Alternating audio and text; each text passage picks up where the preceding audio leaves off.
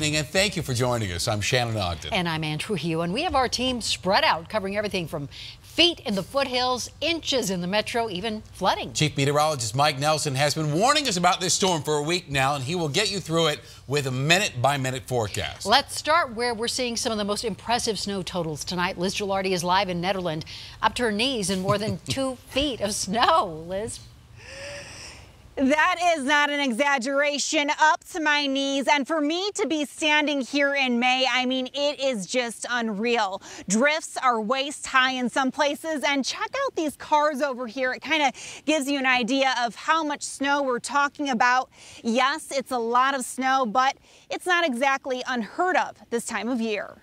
Welcome to Netherlands. And welcome to winter in May. This is my favorite kind of weather, like when it's the thick, wet snow nice that you just snow. you can throw mm. at people. No one here seems to be taking it too seriously.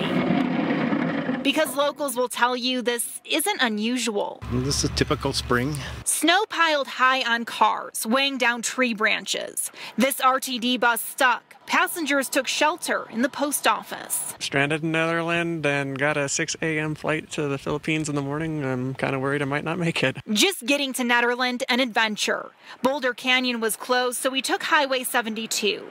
On our way, we saw plows, crews working on power lines, and a state trooper responding to an accident. Please drive slowly and stay home if you can. Because the snow is so deep. The fire department is using this old military vehicle to get around. This thing's not going to get stuck. Not very easily, and if it does, it's a problem.